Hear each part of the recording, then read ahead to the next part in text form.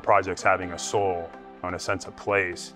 And you get that when everybody puts a little bit of themselves into the project. And I think that, you know, you can feel it. You can't maybe put your finger on it, um, but you, you definitely, you feel that, hey, this project, you know, has a soul, there's a heartbeat to it. And I think we get that from a lot of these smaller merchants and more of this curated retail experience. I think that's extremely relevant to the Great Park.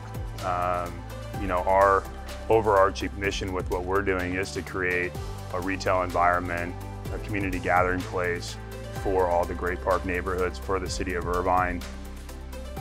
It's just a phenomenal opportunity. The most rewarding thing to us is when we create this environment and you know you give this city or cities something where they are proud it becomes theirs but beyond that we see it as something that really could become and should become the crown jewel for all of Orange County. The diversity of Irvine is something that really excites us because it gives us the opportunity to add a lot of variety, to come in and do something that really speaks to everybody within Irvine and not one particular group. I also think there's an opportunity just to do something unique that celebrates, you know, from a referential standpoint, the base, the community, it's also different than anything else that Irvine has now.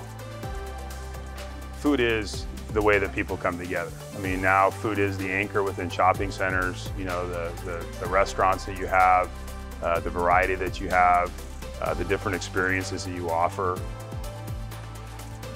So we feel it's our responsibility to do something that brings people to the park, you know, independent of what's going on throughout the rest of the park and then becomes accretive to the overall park experience.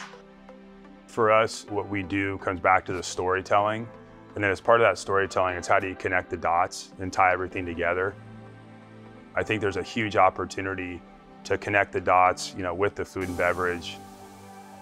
This idea of inclusivity, of really making this a place that everybody feels welcome, everybody feels at home, that there's an opportunity to try something different, but there's also, you know, the opportunity to gravitate towards something that, you know, maybe you're more familiar with.